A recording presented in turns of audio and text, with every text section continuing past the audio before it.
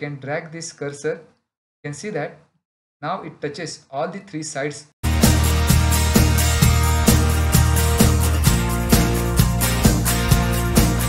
Hello students, today let us do the construction construction of in circle of a triangle.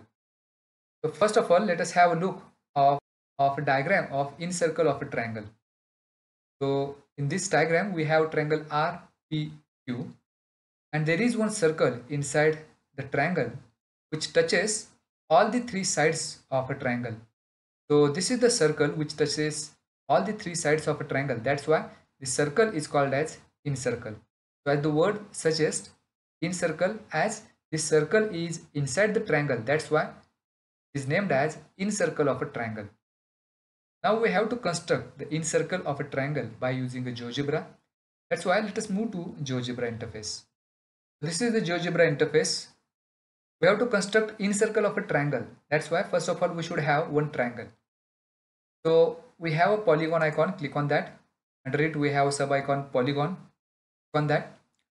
Then we have to construct a triangle. That's why click anywhere on this interface to get point A, then point B, and then point C and again end it with the starting point that is A. So this is the triangle ABC we get. Now we have to draw in circle of this triangle. So to construct in circle of a triangle we must draw angle bisectors of any two angles of the triangle given. So here for triangle ABC we have angle A, angle B and angle C. We can draw angle bisectors of any two angles of this triangle. So let us construct angle bisector of angle B and angle C. Firstly, let us consider angle B. We have to draw angle bisector of angle B. That's why we have here one option angle bisector. Click on that. We have to draw angle bisector of angle B that is angle CBA. So we'll click on point C then we'll click on point B then we'll click on point so this is the line we get which is the angle bisector of angle ABC in the same way we can draw angle bisector of angle BCA so for that click on point B then on point C and then on point A.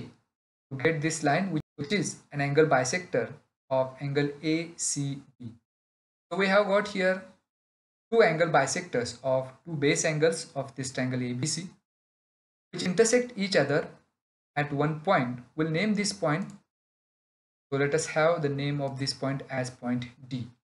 Now this is the point of the point D is the point of intersection of two angle bisectors of two angles of triangle ABC. We have to take this point as a center and we have to draw one circle which passes through all the three vertices that is a, B and C. Now we have to draw the in circle of this triangle ABC. Is we have to draw a circle which touches all the three sides of this triangle. So that's why we have to take point D as a center and we have to draw a circle which touches the sides of a triangle. For that we have here one icon circle with center through point. Click on that. Then we have to take D as a center. That's why I click on point D and move the cursor so as to circle will be extended and we have to extend this circle so that it touches all the three sides. So as we can drag this so as we can drag this cursor you can see that now it touches all the three sides. Now if we click here we get this circle which touches all the three sides AB, BC and AC so this is the in circle of triangle ABC. So this is how we can construct in circle of a triangle by using GeoGebra interface. I hope you understand this concept. Thanks for watching.